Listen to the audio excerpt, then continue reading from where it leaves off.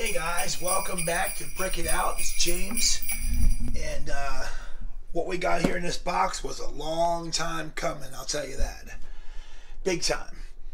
Uh, it's actually just two little sets in here, but we wanted to show you guys what we got because I'll tell you, we went through hell to get this and back. Um, let's open it up here and show you exactly what's inside the box. Be careful here, don't inside the box. You like our little Christmas tree? We're actually thinking about putting that in our Lego Winter Village when we're done. My wife decorated that. She did a good job on that. Okay, let's see here. What do we got? Stuff here. Okay, set number one. This is one that I've always wanted, and we missed it again when Lego re-released it, but we just got it as part of the order. Official Lego set number 40334, the Avengers Tower, the promo. I know Lego re-released that for $20, $19.99 on their website. I think it was about a month ago or so, and by the time we realized it, they were sold out. So this was an eBay purchase along with the other sets in the box. Um, 211 pieces. This Iron Man minifigure there, as you guys I'm sure know, that's a uh, exclusive Iron Man figure to that set. Um, you can see the back of the box here. It's pretty cool little set, looks like. We do want to get another one. That way we can build one and then uh, keep one as a backup. So that's a pretty neat little set. I'll set that over here. Now this set, this next set, if you guys probably have already guessed already, this next set was just a nightmare. We did other videos on this. Um, Lego screwed us over on that, along with a lot of other people.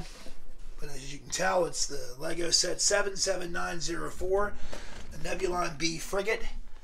This set was very, very, very hard for us to get. Uh, as you guys can see, our other video shows the problems that we had with Lego and getting this set, which I know a lot of other people had problems with this set as well. And then we purchased actually two of these on eBay. This is the first one to finally come 15 days later.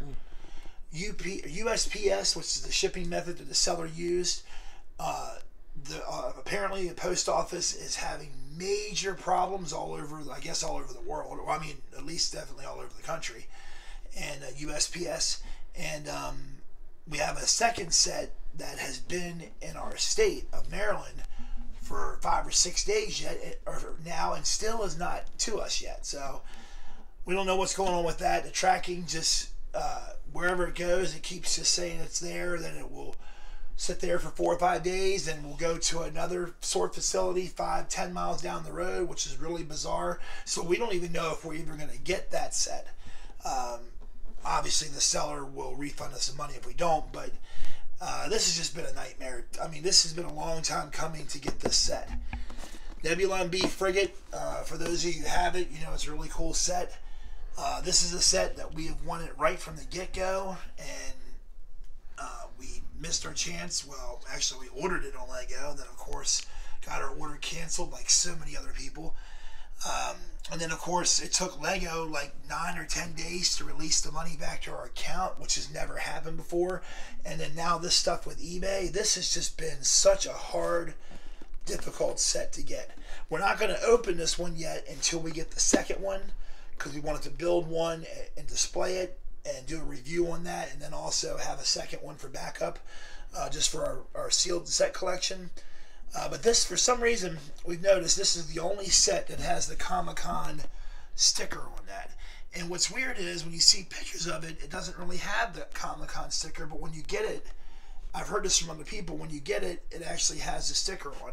I know the Bespin Duel was that Star Wars event, same with um, Wonder Woman. Um, I think the Taskmaster's Chance was a Comic Con release, but that didn't have the Comic Con logo that this one has. So, at any rate, we were happy to get this 459 pieces, um, set number 77904. Uh, this is definitely sealed in box. The seller um, that we got this from, um, well, we had a little bit of an issue with, but everything worked out okay. And uh, we actually had to open up a case through eBay and finally it showed up. Just a nightmare, it really was. But we're really glad to have these two sets. We do definitely want to get another one of these Avenger sets. So that was just a quick little video for you guys. Want to show you the sets that finally came in the mail and a little bit of the backstory of what took so long and the problems that we've had. Not with this one, but, but definitely with the frigate.